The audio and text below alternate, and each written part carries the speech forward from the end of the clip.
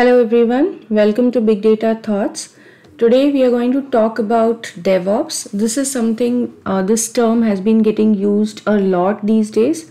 So we'll have a look at what DevOps is, what it is used for, what are the benefits and some of the prominent tools that are there in the market. And we are going to cover all about it under 10 minutes.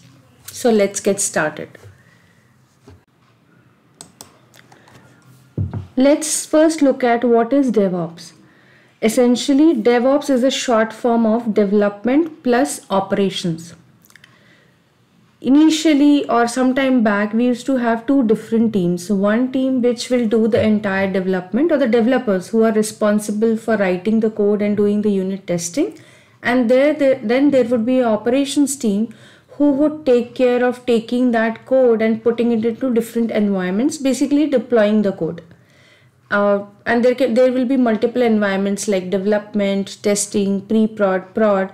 So the operations team will take care of taking the code from one environment to another monitor the code and then do the uh, maintenance of the servers take care of what is happening in their production environment. And if there are issues that happen with that code then it used to come back to the development team to fix the bugs so there were two separate teams with separate responsibilities, one handling the entire development and the other handling the operations or the ops part of it. Now, when we had these kind of two separate teams, why was there a need for something like DevOps or having an integrated team which we call as DevOps team? The biggest reason was that these two teams, the development and the operations teams, were working in silos they had different responsibilities and they were fulfilling those responsibilities. There were a lot of scenarios where there was manual code deployment.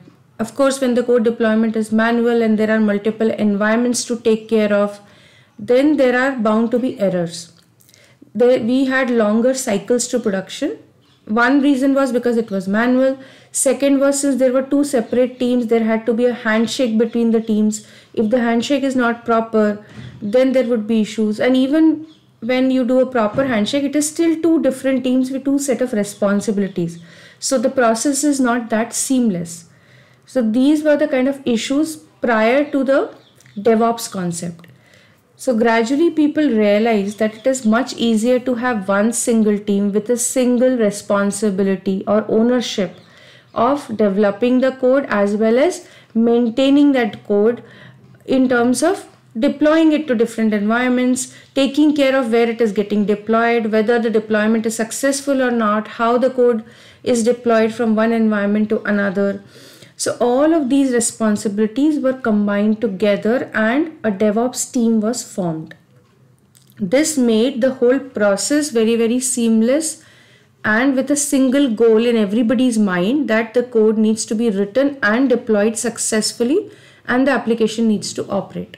So now no longer do you have two teams who are probably having some discussions or you know sometimes arguments in terms of who does what because there is a single goal for everyone now. So this is a picture that I took from the DevOps article website and this very beautifully summarizes what is DevOps all about.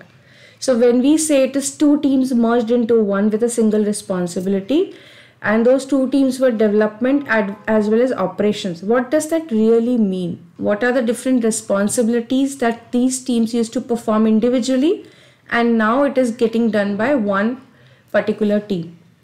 So first of all, plan. So anything that we want to develop, there will be a planning phase. Then there will be a code uh, phase where the developers are actually working and building that code. After the code writing the code, doing the unit testing, building the code, there is a test cycle. So there will be testing done. And then after all this is done, which we typically call in a developer world as cut effort, the code unit test and then we build. This is then released. When we release the code, we know that it has been developed properly, meeting the requirements. The unit testing is done. There is a entire sanity check done on things that they are working this release or this bundle is then deployed.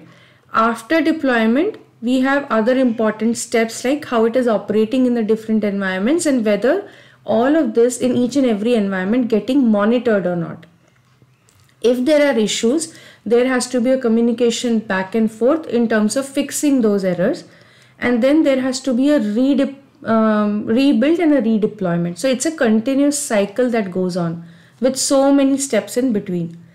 The initial phases that we see, right? The plan, code, build, test, these also will get performed multiple times as and when we get issues and we may release patches for our software, we may do some enhancements, we may fix bugs. So this whole cycle will keep on going. In a nutshell, DevOps will contain all of these activities and this whole cycle that is happening on and on for that particular application. Now let us look at how each in the each of these steps or these things that we spoke about they happen in a sequence. So first of all there is a team of developers who are doing the cut effort which is the coding and unit testing effort as per the plan and the requirements of the application. Then they check in the code to a code repository. That can be any code repository, GitHub, Bitbucket, GitLab, it can be any one of them. But there will be a code repository. The developers will develop the code and check in into a repository. Then there will be a server. There, there has to be a server where this code will be deployed. So the server needs to be prepared and the code needs to be packaged and deployed. Whether it's a war, it's a jar, there can be multiple ways in which the code is packaged and it will be deployed on the server.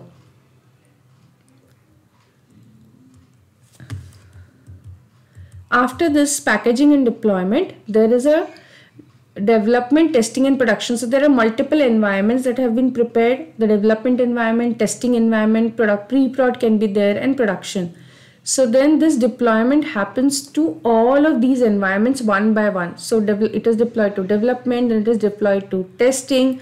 There is a whole uh, cycle of testing and when everything goes fine, then it is deployed to pre-prod or prod. So as of now, the developers check in, they package, deploy, it goes through multiple environments. Then there is a whole release management process that goes in, which means how are we going to package the code and release it to, a to each and every environment? If there is an issue how do we go back fix it redeploy rebuild and redeploy? This whole cycle of rebuild redeploy for the issues or enhancements is the release management process. It's a whole process in itself so this release management has to go through and now all of these activities that we saw here starting from development till release management is done by this DevOps engineer. That's why we see the sign of DevOps is also infinity circle with dev on one side and ops on one side. That's the combined one which is known as DevOps. It's an infinity symbol because it's going on and on. It doesn't stop with one deployment or one release. It keeps on going with the fixes and enhancements. So it looks simple in this diagram because it's a very high level picture of what is happening, but there are tons of activities that go uh, keep on going in this whole cycle and there are a lot of tools and technologies that are getting used to build this whole pipeline, this release pipeline, this check-in pipeline. Now, what are some of the things that we need to keep in mind? So we, we saw what is DevOps, why it was needed, and at a high level, we looked at the whole process of what is happening from development till deployment and where DevOps actually is playing a role. So best practices to have a error-free, very seamless kind of a operation is to have continuous integration, continuous delivery. And there are a lot of tools available in the market to do the CI CD, which means we should have a process inbuilt established which is not manual, which is an automated process where whenever we check in code, it triggers the build, it triggers the test, it triggers the uh, releases to different en environments. So that's where the continuous deployment and delivery comes in about taking that packaged code, tested code into different environments. Then having microservices makes complete sense because it is much easier to develop, test, deploy and manage. Then infrastructure as a code, which is nothing but using server uh, the backend we don't have to really do everything manually or set up our environment. We are having that infrastructure also as a code. So that is where the technologies that we use these days for serverless come into play. Then monitoring and logging there is a absolute need to have tools and technologies inbuilt into our pipeline which will do the monitoring logging give back the results to us. So telemetry is extremely extremely important. And last but not the least communication and collaboration. So there are different people doing a lot of uh, different set of activities and there is a communication and collaboration needed for this entire process to work seamlessly. Now what are the benefits of devops?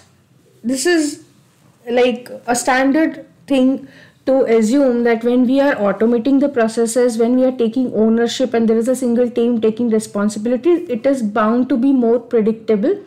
It is bound to have greater quality, reduced risk because now we have a common goal. So the risk of failures, etc., and with automation, the risk is reduced. It is more resilient, cost efficient, and the the most important thing of benefit about having DevOps culture in place. So DevOps is is actually a culture more than a concept it's a culture. Having that culture in place gives us a lot of predictability reproducibility and maintainability. These are very very important for any any application that we build. Even the time to plug in new things becomes much much uh, lesser. So these are the benefits that devops provides now, uh, as I said, there are multiple tools in the market, and maybe in subsequent uh, videos we'll talk about those in detail. But just to snapshot, give a snapshot of the tools, the I have put it into different categories. For version control, mainly the tools that are used today are GitHub, Bitbucket, and GitLab. These are the code repositories or version control tools that we use for doing container management because we are talking about automatic automation in terms of our release pipeline deployment pipeline. So we'll definitely be using containers. Docker and kubernetes are the most prominent container management solutions.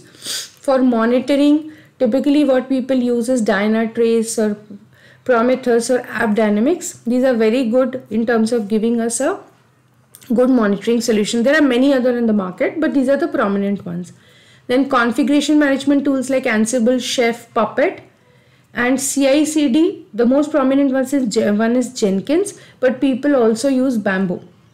So this is this is a snapshot of tools that are being used in the DevOps world. so I hope this gives a very quick overview of why it was needed, what is DevOps, the benefits, and some prominent tools.